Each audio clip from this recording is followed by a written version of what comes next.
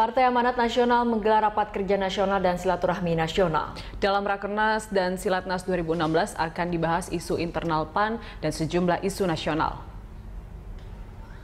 Rakernas PAN 2016 resmi dibuka Ketua Umum PAN Zulkifli Hasan. Sebelumnya Presiden Joko Widodo yang direncanakan membuka Rakernas PAN tidak dapat hadir dan diwakili Menko Polhukam Luhut Panjaitan. Sejumlah ketua umum partai politik lain turut menghadiri Rakernas di antaranya Ketua Umum PDI Perjuangan Megawati Soekarno Putri, Ketua Umum Perindo Haritanu dan Ketua Umum P3 Roma Hurmuzi.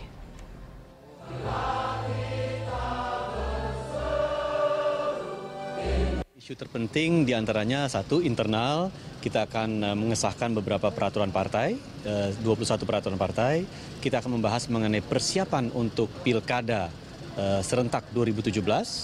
Kemudian juga ada beberapa isu terkait masalah perekonomian, masalah politik, masalah sosial dengan menghadirkan beberapa narasumber dari luar agar menjadi bahan pengkayaan bagi kader-kader kita yang hadir. Kemudian juga ada isu sentral yang dibahas saat ini uh, mengenai uh, antara lain satu darurat narkoba, pornografi, darurat miras.